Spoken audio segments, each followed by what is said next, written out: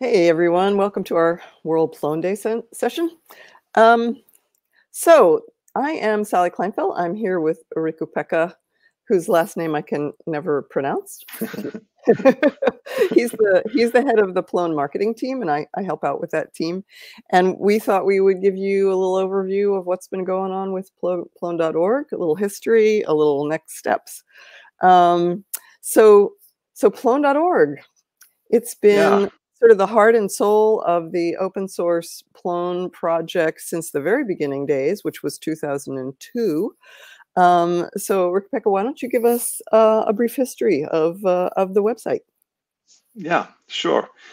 So, yeah, before we look in the future and and the future Plone.org, it's it's good to look at the history of it and and here I have uh, here I actually have if I go a little ways back, if you stay with me, I have a couple of screenshots from the Plone 1 since 2002. So we are already celebrating the 20th year of Plone and, uh, and Plone.org at the same time. And uh, here is how it looked in the beginning. So, and uh, I don't know, I wasn't uh, around quite then, but uh, I came to Plone in 2004 maybe, so I don't remember this site. But uh, what about you? When did you? Uh, yeah, around 2002, I think was my first encounter with Plone, and yeah, yeah, this these old sites look pretty familiar. I mean, it it was using. Yeah. Plone out of the box back in the early days and did for many years, as you'll see walking through this uh, little yeah. series of screenshots. We needless to say, we uh, we raided the Internet Archives, the Wayback Machine, to find these screenshots. yeah, that's true. Here's uh, Plone 2 from maybe 2005, still looking kind of same, same uh, showing the mm, content structure of the site and, and stuff like that. And so uh, it's actually fun uh, to uh, notice that this, uh, uh, like some of this design is used later in Wikipedia. So this was kind of always aiming for easy easy to use kind of things. Yeah we were really the first in that sort of content collaboration community space which is how i found plone googling that very con combination. And hey yeah. everybody get a load of that old logo. Yeah it's it's there. It's not that blue but it's lighter and then yep. there's Plone 3 it still uh, kind of looks the same but uh, maybe a little less cluttered. There's less stuff on this page but maybe maybe this site just uh, needs login login and this kind of i don't know product catalog page or something like that so. Uh, but uh, out of the box Plone 3 from 2000 eight, nine, something like that, maybe. And and what we yeah, here's the front page. It's yeah, what is Plone, get Plone, learn Plone, get involved, and probably we are going towards something like that in the new versions also. So straight to the point. And uh, here, here's a fun fact: World Plone Day from 2008. I didn't notice this before, so we are celebrating World Plone Day 22, uh, and and this is from 2008. So it's a, it's a long long tradition, uh, give, giving out Plone stuff uh, around the world. Yep. And, and then we have a couple of other Plone Plone.net site at some point. And here's Plone 4. Why don't you explain what Plone.net was? Um, or I can explain if you don't remember. It was a. Yeah, it was yeah, a, please do. It was a site for vendors. So um, back in the day, Plone.org was always the site for the Plone Foundation, the Plone Project, the Plone community. But of course, there were always vendors who did Plone work. And so there was a upswelling of opinion that they should have their own site and there should be a way mm. to search for vendors. And that's what Plone.net was uh, for a while. I, I can't remember when it ended, but it was up for yeah. a while. Yeah. It was it was one of those mm, who's going to run the site and who's going to take care of it, and eventually that didn't happen. Mm. so it sort of yeah. withered away. Yeah. All right, and then we go to 2009. and Plone 4, and, and now we can see a little bit uh, like a different design here. I don't think Yeah. this was out of the box Plone. I think this is Well, slight- it's pretty slightly much with a with a big banner image. So there was a customized front page, and Oh, yeah. everything else was Mhm. pretty out of the box. And note the new logo, Plone. Yeah. Plone four and four three were real mainstays uh, for Plone for a long time. So we were all very Yeah. excited about that. yeah and yeah that's it Plone 4 speed power and beauty and i think we are still aiming for that Yep. power stuff but uh, let's see uh, all right now we get to the current blonde dork uh, and it was uh, renewed in uh, was it 2016 Sixteen, yeah. Plone 5 yeah Yeah, and that was a big, a big, uh, a big effort. And uh, whereas the all the previous versions that you saw were pretty much just upgrade in place, upgrade in place, upgrade in place Yeah. all the way. For this one, there was actually a pretty major change to a Diazo theme uh, and all the Plone Five stuff. Uh, And that was a dump and load uh, project uh, to bring the old content over to the new site.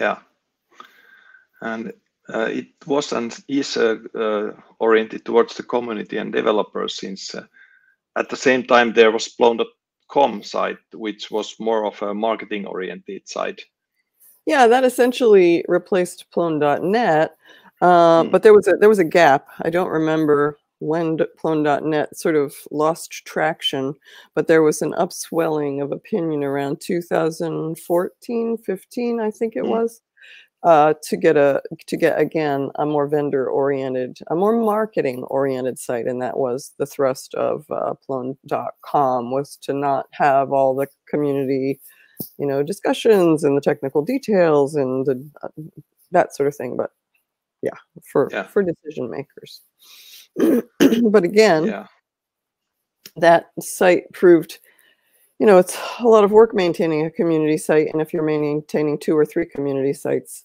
Mm. it uh, can be more work than you can manage so so plone.com again sort of uh, stopped getting updates and instead we have been incorporating the plone.com content into plone.org over the last year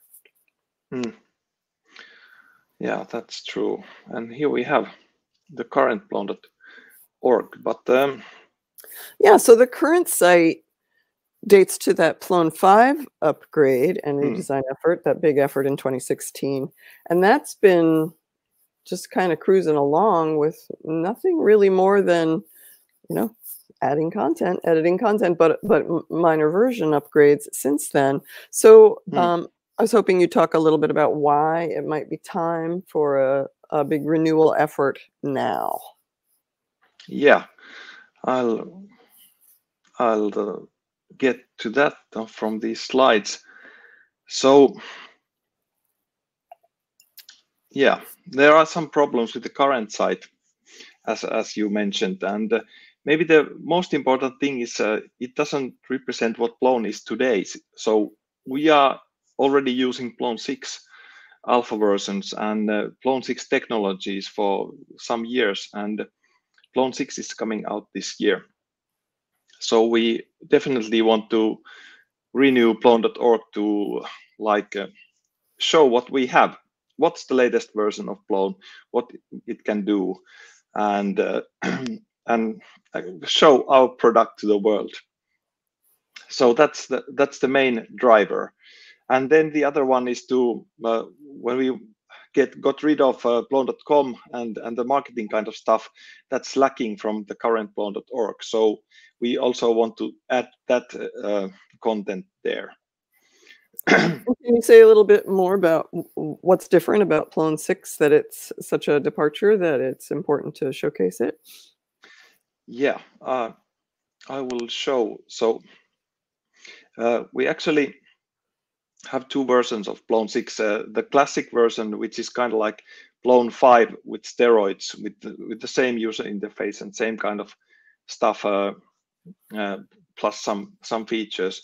But uh, the default uh, user interface for Plone 6 is uh, is this, and it's called Volto, and and technology wise it's a totally different beast. So it's built on react. It's easier to develop than than python just python based websites. Uh, it's really really fast to use. And it's uh, basically built from ground up to be this really easy to use re really really fast and and easy to develop content management system so you can think of Volto as being Plone React. So it's got a essentially a headless backend talking through a REST API to a React front end.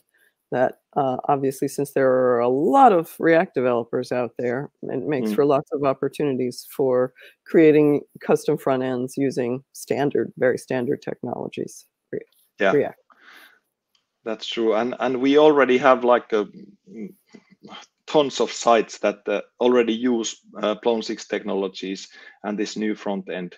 There are huge university sites like from Osaka University. There are European Union uh, sites for large user base. There are mm, German uh, technology sites and Italian uh, municipalities or something like that. And so that technology is already in use and yeah. now we want to bring that into Plone Plone.org too yeah and the plan is to make a react based front end for plone.org as opposed to sticking with the classic front end that we've had for all this time since the react one is what's really new and exciting um, yeah. so so that will give us a lot of flexibility in how we present the content rather than the you know kind of standard here's how it looks out of the box and here's how it will plone.org will therefore look like what it is is out of the box well out of the box is now very very flexible with tiles that mm. you can move around or, or, blocks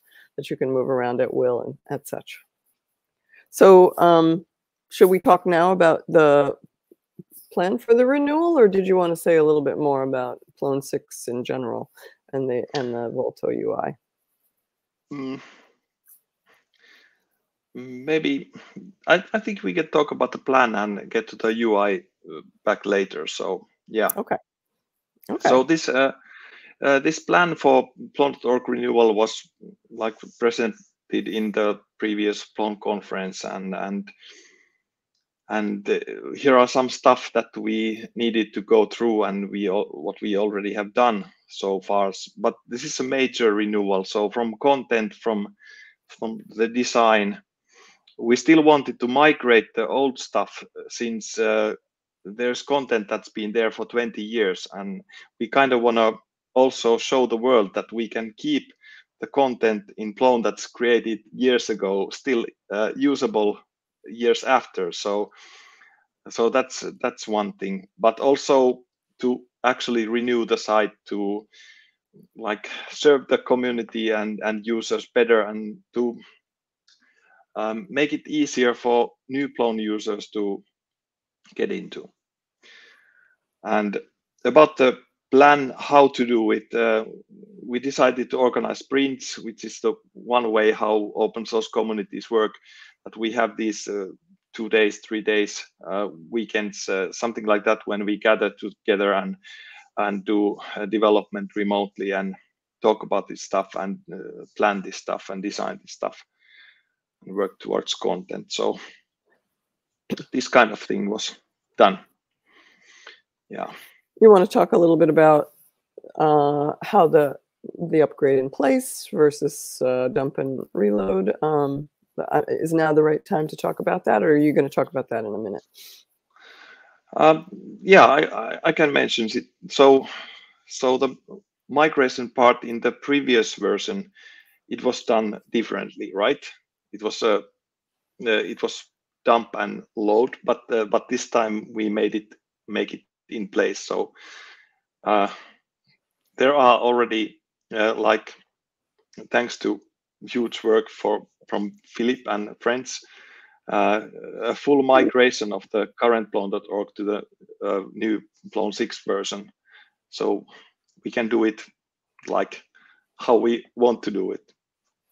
And just to but, clarify, yeah. the when we said that the the 2016 uh, refresh, whatever was a dump and mm. load, we mean literally the old site sat over here, and then we Mm. dumped selective bits of content and loaded them into a brand new Plone site. Uh, Yeah. We took most things, like if you browse plone.org, you will find um, you can browse by year, news items by year, and all the way back to 2002. Mhm. Um, we still have that content, and a lot Yeah. of the site is still still there. But we did eliminate some of the more arcane things. Um, we shed a few things. But what's different this time, although the new upgrade mechanism is based on a JSON export and re-import, it is kind of it comes with Plone. Uh, at least I think it will. It's collective.export import, right? I, it might still be a, an add-on, but uh, but it's a community blessed add-on way of uh, upgrading a Plone site, so you don't have to um, do that upgrade in place kind of dance that one used to do, and that makes sense because in the in the case of export and then re-import, you can export content that was in a classic style front end using tiny MCE as the editor, et cetera, et cetera, and re-import a that's uh, more tailored to be able to use with the React, React front end, different way of putting Yeah. together the front end. Did, did I say that Yeah. right? Is that is that did I summarize that correct? yeah, that's a good summary. And and the important thing is that uh, since the user interface changes and the technology changes between Plone 5 and Plone 6 and the new uh, front end, uh, the migration still works so that uh, it uh, takes the old content uh, from the previous technology and moves it to the new content as a usable tiles, which are some of the building blocks of each page, these tiles. So yeah, it's a just to point out what's on the screen now, Riku-Pekka has just found one of the very oldest news items on Plone.org Yeah. the, the, the announcement of the Plone One. Yeah, it's, it's still RC1 there. So yeah, Too great. I love it. Yep. There are there are thoughts from Alan and and uh, Limi and all sorts of fun things in the in the archives there. Um, yeah, but I, I think that the it's it's very nice these export import tools that um, rather than having to do a lot of custom work to make the transition from uh, the classic to the uh, React front end, we have the set of Mm. tools that'll make that a lot easier. You know, obviously there's all if you've got custom content types and a highly customized site, there's always going to be custom things to do, but uh, hopefully those tools will make it easier for most people. Yeah. Um, so what else should we talk about? Progress. Um, what is? Let's see. Did you want to? What's what's on this slide that you wanted to talk Mm-hmm. yeah, about? yeah. Maybe talk about what we wanna like show on the new page Oh, page. sure, So, yeah. So uh, already last year we kind of have some. We have done part of the job by going through the old content and and removing some unnecessary stuff and and that kind of stuff. But uh, when we thought about the new site, there are some things that we want to highlight, which is Plone 6, of course, and how to actually get Plone and how to get it running and use it. And uh, one thing definitely to highlight is this community that we are on. Uh, it's it's amazing and and how to get involved. So that kind of stuff. So uh, to highlight Plone for new users, uh, to make it easy to developers to get started with it, and then to highlight the uh, different sides of the community, which is a really big bonus for for the software. So that kind of stuff, and also about target audiences. So previously and currently, the Plone.org is aimed for the developers, but we definitely want to like uh, uh, show this to new audiences also to end users and decision makers and people like that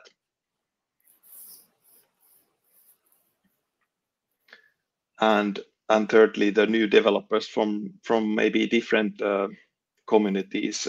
Now that we use react we can like uh, show this to react developers and then to python developers and so on.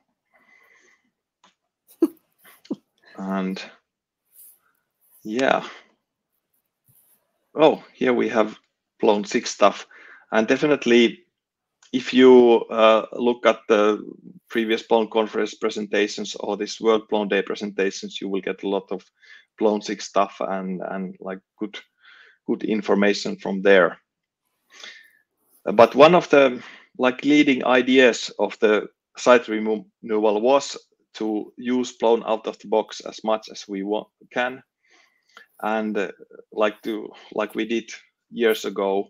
Uh, the current uh, Plone.org is maybe a bit too much um, like uh, customized from the out of the box experience.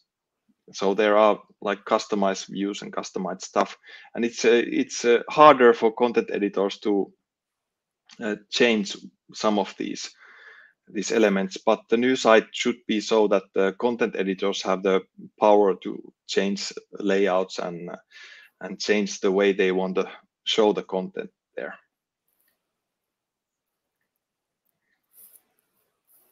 And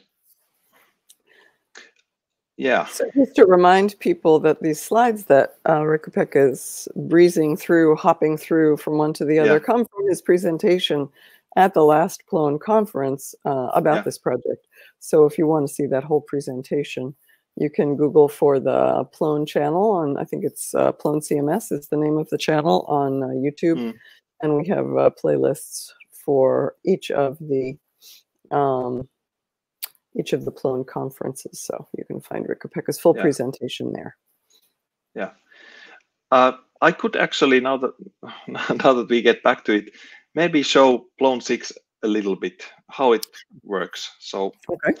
Maybe let's use a couple of minutes for that. So here we have this public Plone 6 demo site. Uh, and I can easily log in there. And you can see the user interface here. So it's really uh, minimal. There's the pen icon, you can edit the page. There's the uh, folder icon where you can see the contents, how the site is structured. And then there's the plus icon for you to add content. So it's really, really simple for content editors. And it's also fast. It's uh, like this and that. It, it's it's really fast. And and each uh, section of the page, uh, we call this blocks. So page can contain many blocks. They can be text blocks and they can be video blocks and they can be custom made blocks. And if I, if I, maybe I could add a new page here. Here we go, new page. And then I can add some text here and it's this easy.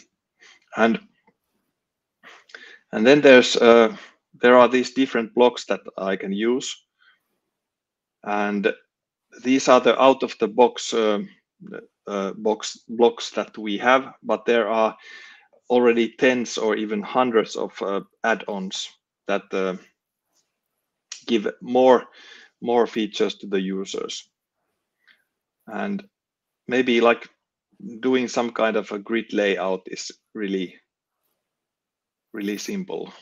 Three columns, two columns, uh, and one column. And so you can easily like lay out the content and then add images and add texts and add video, video and, and stuff like that.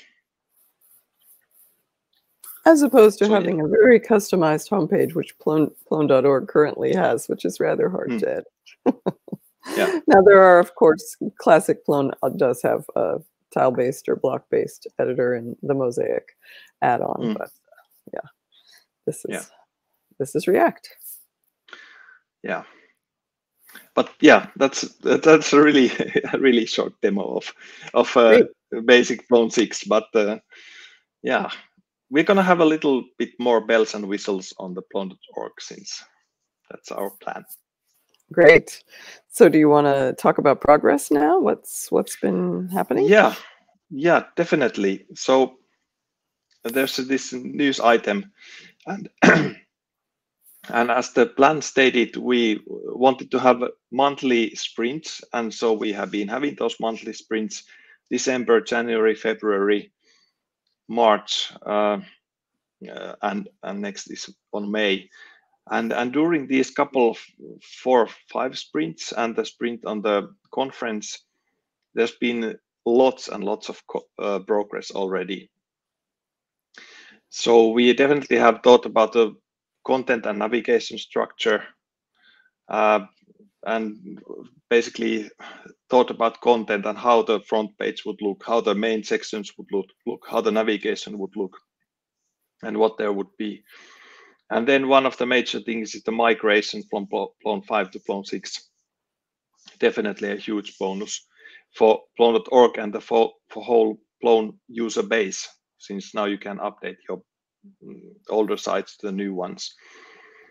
Uh, then uh, actually we had help for the visual design. Uh, uh initially, we just uh, thought that we just use Plone 6 out of the box as it is, but uh, um, thanks to the great community, we got help, and there are some great designers that we could use. So we're going to actually have a, a slightly updated visual design for the new site uh, it doesn't uh, like totally change the way it's shown, but it's still uh, recognizable as Plone 6, but it's uh, still like it has more features and more things that we can use on the new site.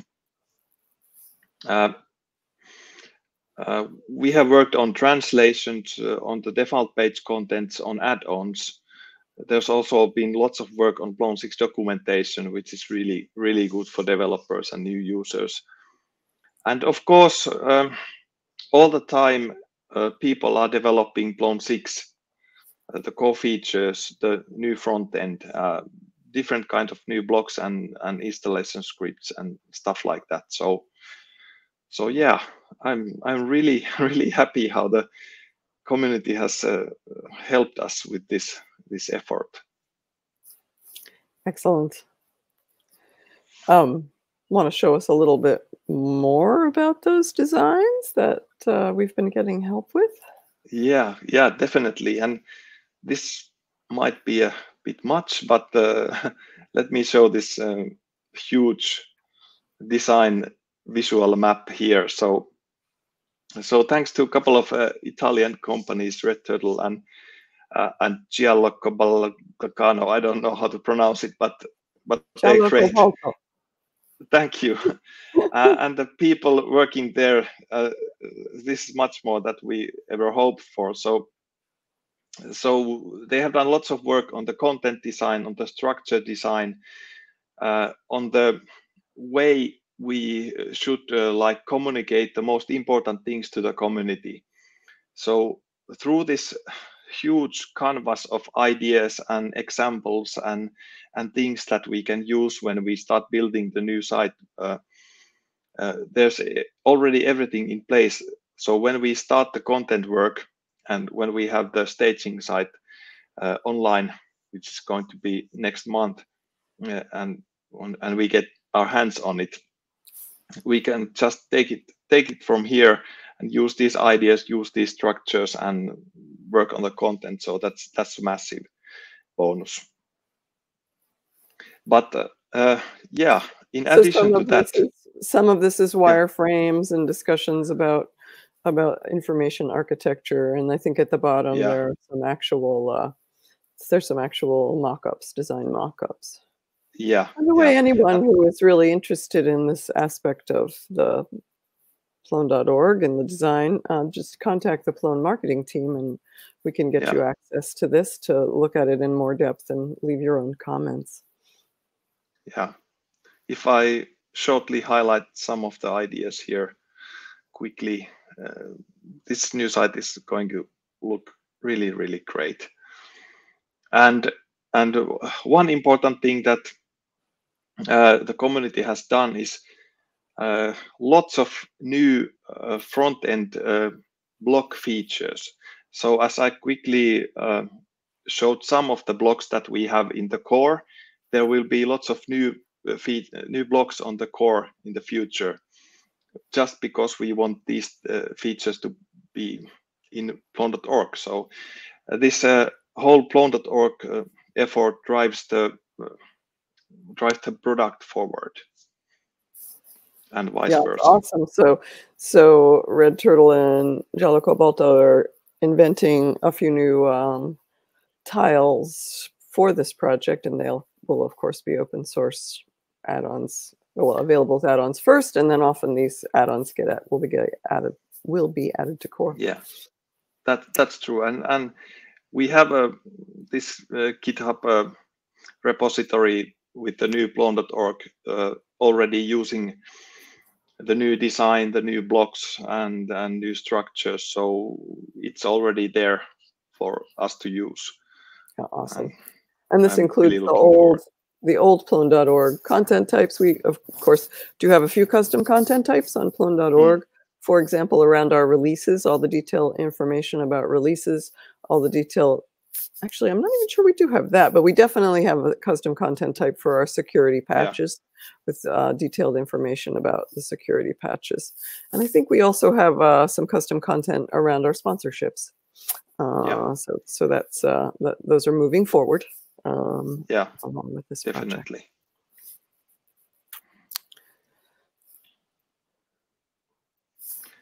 Um, yeah. so shall we talk about how people can help? yeah, and, and already we uh, love your help. yeah, we love your help, and, and, we love you for doing it. So thanks yeah, to everyone who has already like committed and and helped and and done any any work uh, related to mm, Plone 6 and plone.org.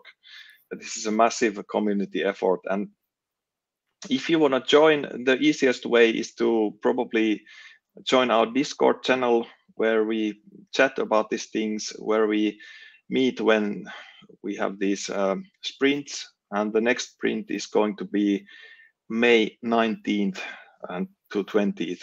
So next month after we get this um, World Plone Day organizing done, and we're gonna have a another uh, Plone.org sprint then. Yeah, and awesome.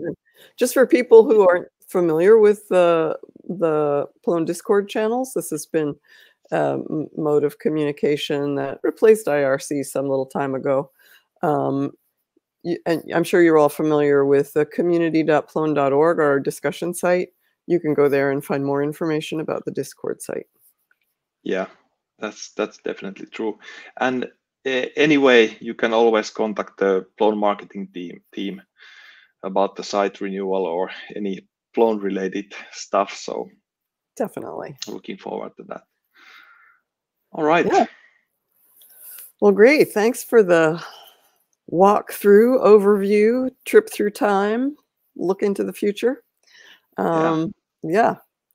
And thank you again to everybody who's helped with the effort and to anyone who thinks they will help in the future. So, yeah. All right. That's it. Thank you, Sally. And thank you, Riku-Pekka. Thank you all. See you around. Bye. Bye.